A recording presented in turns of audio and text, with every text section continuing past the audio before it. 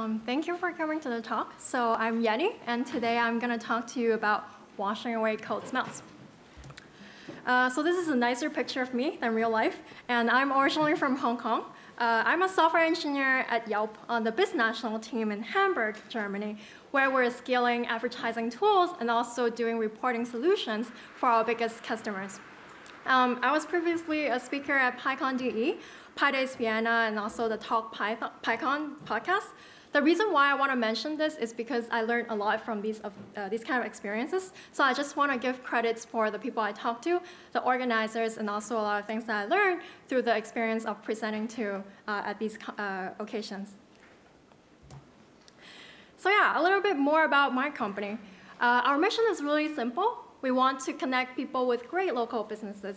So um, you're in this beautiful city of Edinburgh, and one of the really important questions you ask yourself is, where do we get dinner, right? So Yelp help you find exactly that through people's reviews, photos, uh, videos, and also their opinions on which one you should go to. And that's one of the things that I'm thinking about as well. And this is uh, probably what our homepage looks like here. So there is a search, and you can just put down the category that you want to search for. So pretty easy. And some fun facts about our company. So Yelpers have written over 155 million reviews. Um, there are a lot of users, as you can see, a lot of monthly unique visitors. And our engineering team is growing very fast. We have over 500 developers now over this, uh, the offices of San Francisco, of London, and also of Hamburg, where I'm working. And we have over 300 services, and our monolith, Yelp Main, has over 3 million lines of code. And why am I bringing this up to all of you? It's because when you have so many people working on the same code space, it's actually really important that we keep a standard of what kind of code we're checking into production. And that's why I want to share with you this little message that I'm, I learned basically from my time at Yelp here, and hopefully you'll like it. So that leads us to our agenda. We're going to talk about what code smells are, um, why is that something that we should spend time in? Why should we care about this? Why should we spend our engineering effort into clearing out these code smells? And how we can use the technique of refactoring to wash away these code smells. And also, if you're sold about the message that I'm bringing to you, how you can bring refactoring and this technique to your company. So let's get started. What are code smells?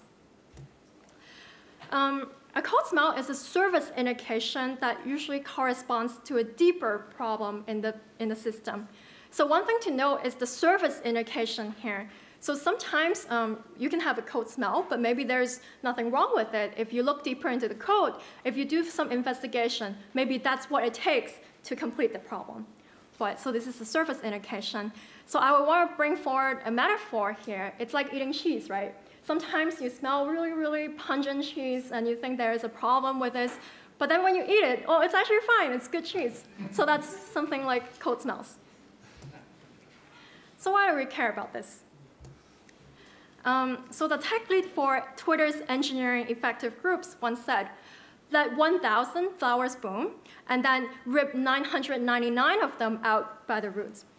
So what do we mean by that?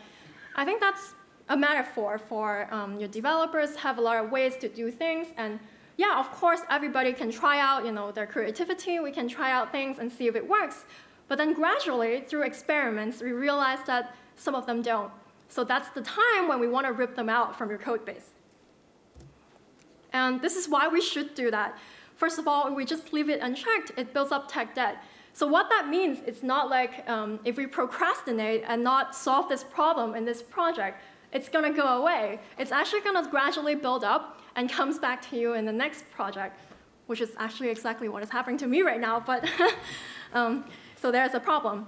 And also, it's not like if you design the code, like say, I'm very good at designing code, um, I do it right the first time, and then it's going to go away. So code actually gradually rots as time goes by.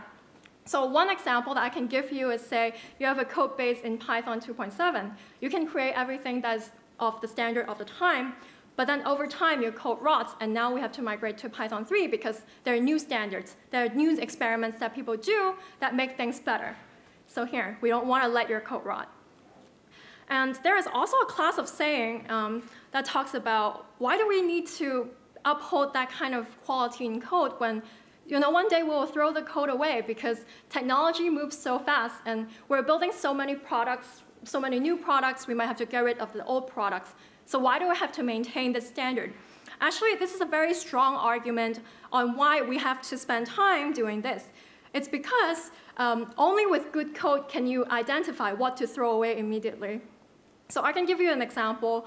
Um, I'm sure in your company there is this one file, um, there's the admin code that is 4,000 lines long, nobody knows what, it, what it does.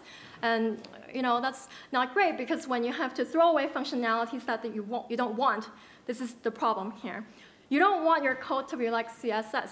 So you have like a long CSS file, you want to take out one line and suddenly your page breaks and you don't know why.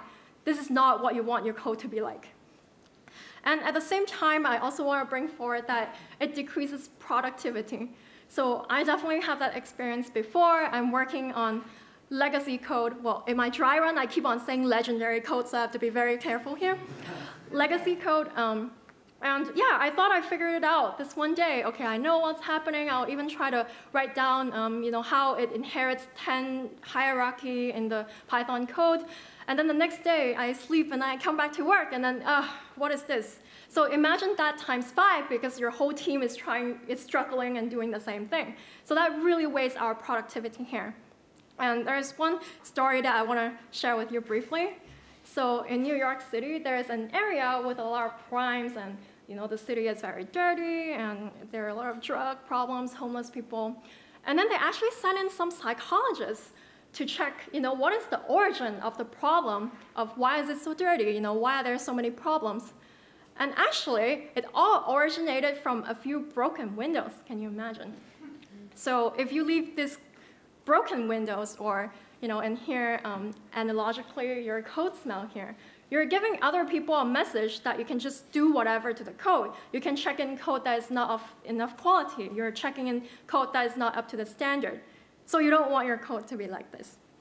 And at the same time, I also think it's very important for developer happiness. And why is that?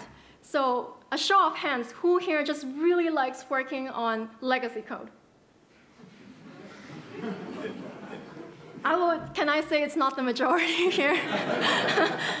yeah, so you get the idea. Maybe that's also important for us to retain people if you know, your day-to-day -day work is just cranking out what your Python code of you know, 10 levels of inheritance means.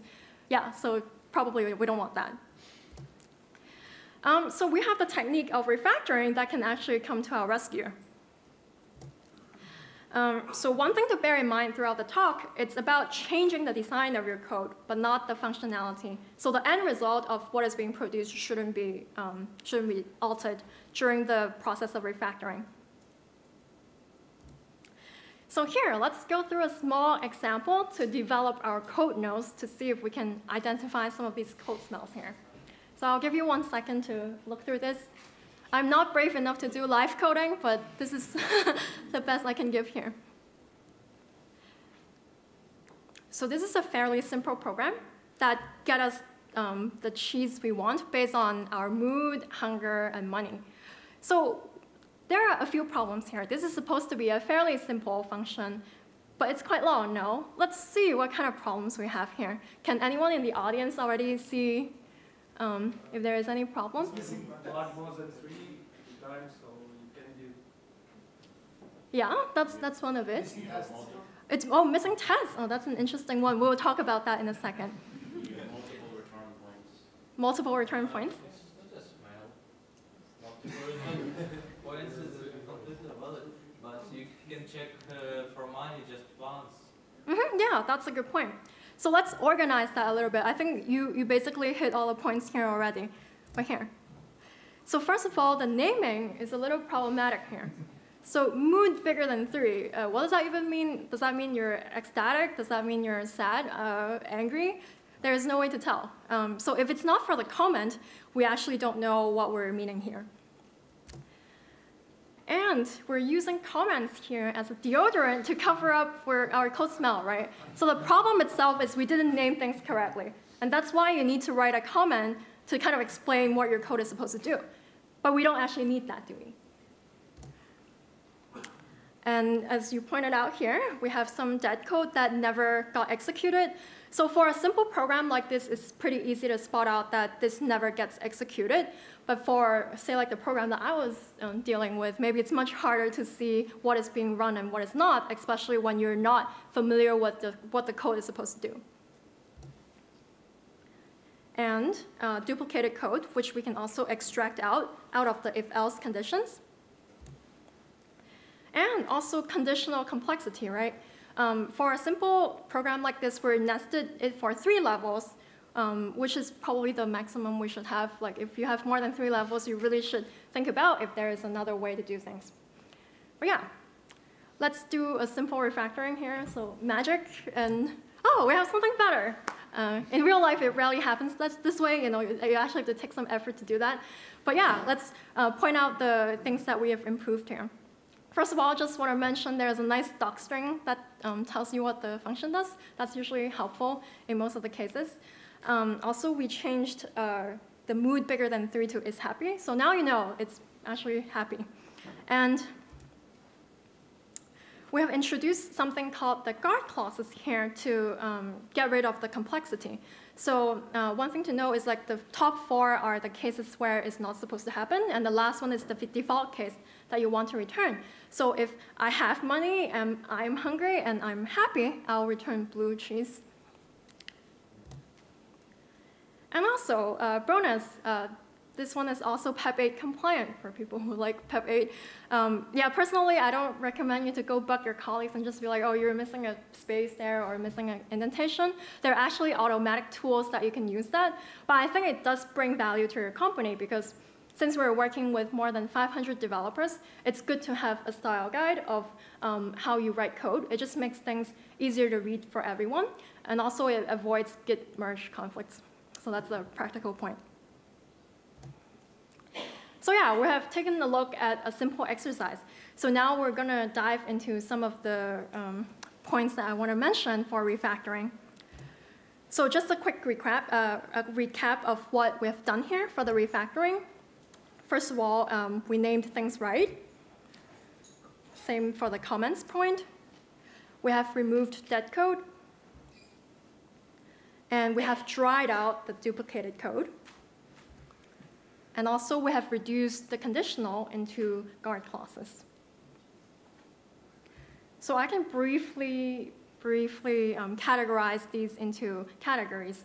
Um, and these are probably the lower hanging fruits that you can um, get basically once you start refactoring. There are definitely much more um, ways for you to do that, but you know, we can uh, also um, investigate into that later. These are, these are the things that I think is easiest to do and has the most immediate effects. So name it right. Um, naming is actually one of the hardest problems in programming. Um, do you know which three it is? Yeah, naming is one of them. Cache invalidation. and one more. Huh? Threading. Okay, there we go. Three, three of them. So I'm happy to talk to you about one of it, which is naming things right. So it's a cure for uncommunicative naming. Uh, Python itself, it's dynamically typed. So since you don't have the typing information, um, we want to name things very clear so that other people know exactly what's going on here. Um, of course, I would also recommend pushing for um, type annotation. That, can, that is one thing that will help, but naming is also very important for Python. And apart from the variable naming that we have mentioned, there is also function and module naming. And module naming is probably more specific to Python. So you probably don't want to do something like from yelp.business.biz import biz info or you know like something like this that doesn't give people a clear um, sense of what you're trying to do and that's just um, asking for bugs. And at the same time, keyword arguments, that's part of the PEP 8 as well. That increases clarity. So if you have it um, in the code that you're using, then you don't have to go back to the original function to check, uh, actually, this one corresponds to mood, or is it hunger? So it just saves you some time and increases clarity. Um, at the same time, I would want to introduce replacing magic strings and numbers with enums. I think that's a very good practice. So here there's a short how-to that we can go through together. So one thing that's good about it, so even the is happy is not as explicit as this one. Now you can specify your mood to be exuberant, you can be content, you can be apathetic or melancholic. as specific as you want. And you can specify it right in the enum class of mood. And if you're a fan of um, uh, the uh, being explicit over implicit, so I think this is something that you'll like. And at the same time, it also has pretty good properties, like it supports iterable, and also it's hashable. That means you can use it in a dictionary, you can use it as a key. So it can be a substitute um, for just a pure string or an integer. And that's really great because consider this situation where this string is just used in like 15 places in your code, and suddenly your product manager wants you to change it into something else, which happens very often actually. Um, and then you just have to change one place in the code, and you don't have to worry about typo because there's just one place. So that's something that is um, considered a good practice. At the same time, I want to push for also getting organized. So it sounds pretty simple, but it's actually probably one of the hardest thing um, to do. Um, it's a cure for long functions, classes, and param lists. Um, so one thing that this wants to uphold is the single responsibility uh, principle. So your function or your class is only supposed to do one thing. And how do you know that? Actually, when you, after you write the function and when you try to name the function, if you find yourself having a very hard time naming that function, it's probably because you're not following the single responsibility principle, because it should be fairly easy to name if it's only doing one thing. So in this case, you might have to extract um, some of that into other functions or break it down.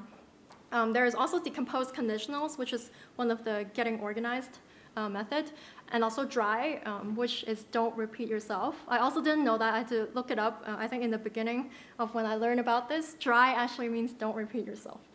Um, so yeah, one of the uh, example that I want to give here is fixing long parameter lists. I think this I've encountered um, when I'm doing programming as well. And so here there is a simple uh, example of identified cheese. And you know, identified cheese is a hard task. So like we need to pass in the country, smell, touch, city, year, taste, you know, a lot of information for the program to decide uh, what cheese it is. But you know, gradually this list grows, right? And it gets out of hand. You know, you have what 20 parameters that you want to pass in. Um, that's kind of like an eyesore. So what we can do is we create name tuples that can organize these things together, and you can even add type annotation that kind of groups them into a more orderly fashion. And hence, you can only pass in, uh, you end up passing in only two things of cheese production info and cheese attributes.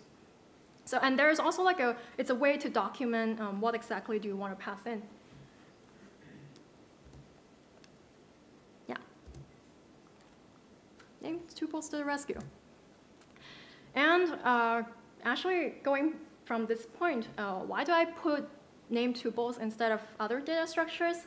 So that's also one thing that we need to think about when we're designing. Um, so I would want to go through some examples to talk through why dictionaries versus name tuples and also uh, lists versus sets. But you know, like you use these data structure based on your need, but in this case, maybe one thing is better than the other. And we'll see why. So here's how it's like using dictionaries, but this is a wrong case or a bad case of using a dictionary. So just one second for you to digest this.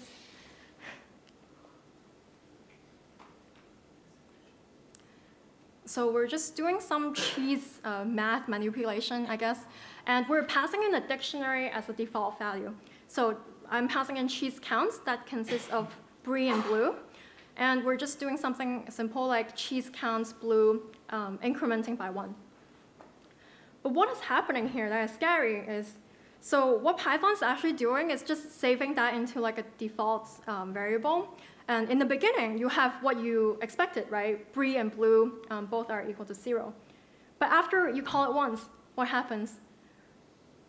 This actually gets mutated and your default got changed. So depending on how many times you're calling your function, your default is different. And that's pretty scary. And imagine having to debug this in our monolith uh, code base. I cannot imagine. So this is one thing that we actively try to avoid, putting um, mutable data structure as a default. That's uh, not recommended. And here is where name tuples can come as a rescue because they're immutables. Um, so the same thing, we can actually pass in cheese counts uh, as a name tuple. And here is how you can specify a default for name tuples. So here, if you're um, just specifying brie equals 2, um, this, the default knows that blue is equals 0 and brie is equals 2. If you don't put anything at all, then you get blue equals 0 and brie equals 0. And what happens if we put this in the previous function of some cheese? It's going to shout at you. It's going to not let you mutate um, the default. So that's better because you realize the mistake before it goes to production, and I don't know how far I can take before someone finds out. So there's that. And also between using lists and sets. Um, here is a function that select my favorite cheese from the catalog. So we're passing in two things, the cheese catalog and also my favorite cheese. And you're just basically doing a loop to see if this thing is in the my favorite cheese list, and we'll return uh, picking the favorite cheese from the cheese catalog. And yeah, everything looks good. We're passing in blue and cheddar into the cheese catalog, and my favorite cheese is truffle brie, like, because of course, and also um, blue cheese, right? And in the end, you return um, blue cheese because that's the only thing in the catalog it's supposed to do what it does. And that's good, but except it's a very long function for, for this because we can do something actually simpler than that. And that's where sets come in, right? So um, right now, how many lines do we use? One, two, three, four, five. Okay, five lines for a one-liner um, like this. And you can basically just use intersection um, to come up with the common set uh, between your uh, cheese catalog and my favorite cheese. So it also returns the same result, except now it's a one-liner, which is more of a Pythonic way of doing things. But of course, there are some drawbacks between sets and uh, lists. Maybe sometimes sets has performance or uh, memory implications. So that's also something that we need to consider when we're refactoring. But you know, if for like a general use case, the set comparisons are pretty awesome, no? It is. And um, yeah, um, another suggestion is to check out the standard library. There are actually a lot of gems in there um, that I feel like I personally also don't spend enough time on it, uh, especially itertools and collections. If you make something an iter tool, there are a lot of uh, iterable. You can actually make use of a lot of toolings that are on it. Um, and also uh, with different collections like sets and you know other data structures. So I think those are pretty handy. And yeah, testing. So we're missing some tests. So let's talk about testing. Um, a pretty short one, uh, but it's pretty necessary in the refactoring process because if you don't write them, maybe it's too late already. So the first part, um, I would recommend writing integration or end-to-end -end tests uh, for the code to be refactored. And that ties back to the, one of the slides we talked about, right? Refactoring is changing the design of your code and not really the end result or um, the functionality of your program. So supposedly, if you write an integration test, they should pass throughout the whole process of your refactoring. And that's also your compass to make sure that um, you're doing the right thing during refactoring and not deviate too far away from what the program is supposed to do. So it's kind of like a check for myself. And of course, you're having fun doing all the refactoring. And after that, um, we can write some unit tests for the refactored code to make sure that the code is actually correct. So this kind of helps you um, gear you towards the right direction in the refactoring process. And I think um, we shouldn't be lazy with the tests. It's a very important part of the refactoring process. So cool. And so if you think that you're so sold about the refactoring idea, like tackling code smells, how do we sell this to the company? How do we talk to your product manager about this? How do we convince other people to also jump on the same boat?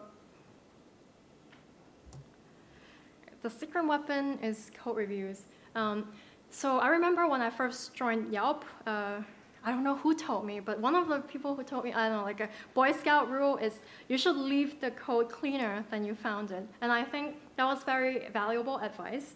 Uh, every time I'm trying to push some code, um, even if I'm not trying to change, and reinvent the wheel or try to refactor to a very deep extent, I try to make it a little bit better. Say I see a variable that is not named correctly, maybe I can do a little change. I see a test that is not well covering the code, then I add another test to make sure all cases are covered. So things like that. Um, it's a culture that we need to cultivate in the company to make this happen.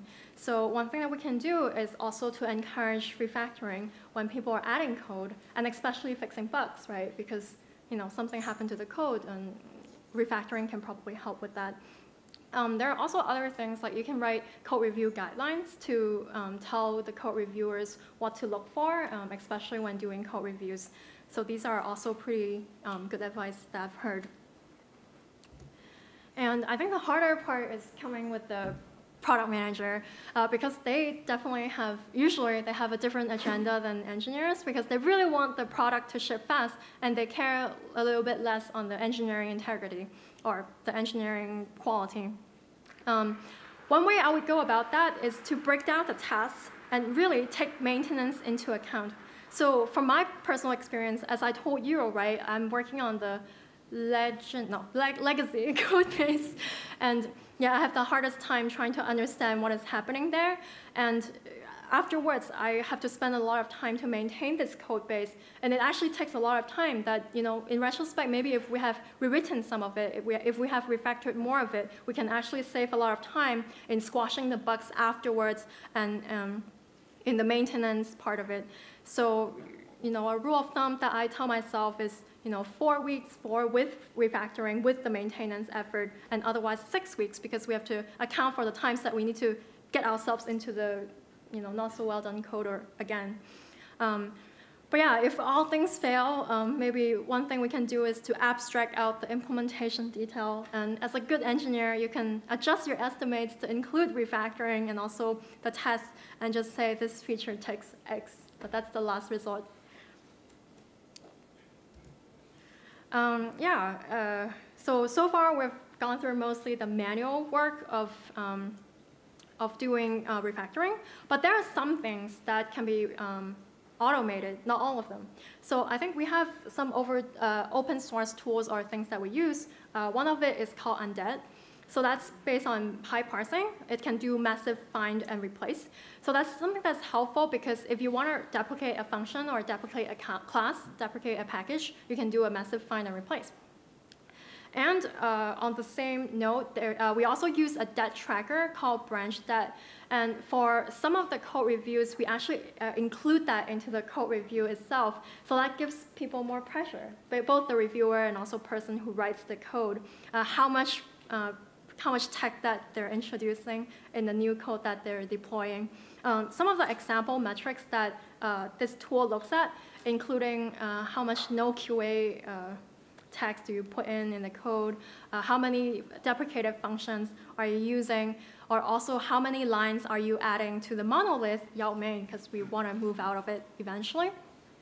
Yeah, so these are some things that can give yourself more pressure to really deal with it now instead of procrastinating it to later or another project that you're working on. Um, yeah, some of the takeaways just to wrap it up. We talk about code smells. Why is it important? How do we use the technique of refactoring to get rid of them? And also some of the tips to bring that to your company if you're sold about the idea of refactoring and code smell. Most important of all, if you want to work for a company that cares about code quality, that lets you spend time to do refactoring work, we're hiring. We have offices in Hamburg, that's where I work. London and also San Francisco. So we also have a booth down there. If you're interested and want to talk to us, we're there. Yeah, thank you.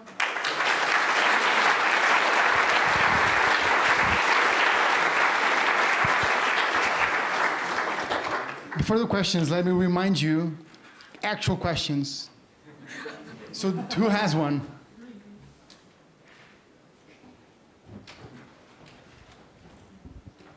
thank you for your talk. Uh, so one thing that uh, wonders me from some time is um, because many of these tips look like, uh, you know, when, when, you know them, they look like, yeah, great idea. But uh, do uh, are people likely to um, like uh, just make up them by themselves, or do they rather need to learn them? Do you have an experience like did you see uh, junior developers, for example, uh, looking at such bad code and do they know uh, what to do with it or rather than. Um, so you mean how to acquire the skill of practicing your code nose to spot out what is good in the code and what is bad? Uh, yeah, so um, I'm, I'm just wondering what are your thoughts about it? Uh, Ah. Is it like people need to learn it or uh, rather mm, they Um, just see what's bad? You know, I think um, so. There is the first gatekeeper, which is the code review, right? Where um, I guess more experienced engineers tend to tell uh, newer or less experienced engineers what they have learned throughout their times. But I'm a proponent of you know you crash and you burn and you learn. so you know next time you'll know because you see what didn't work. Any more questions?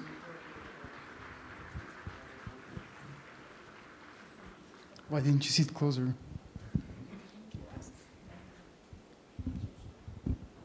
Okay, so my question is related to you say that you should leave your code in a better state than you found it. Uh, some could argue that goes against having small reviews because now the reviewer has to see 10 pages of refactor instead of just the actual value added, so to say. Um, so one of the So- practice I usually use is I, I see the problem and yet I usually tackle it in another code review just so because it's a different context. But I should um, I would recommend following it up immediately. Otherwise, it will lost in the Jira Jira forest jungle. Or um, yeah, or sometimes if you identify these to be good new hire tickets, that can also be the case. Anything else? Thank you, Yenny. Oh, oh. Was it? We can talk later. Go ahead.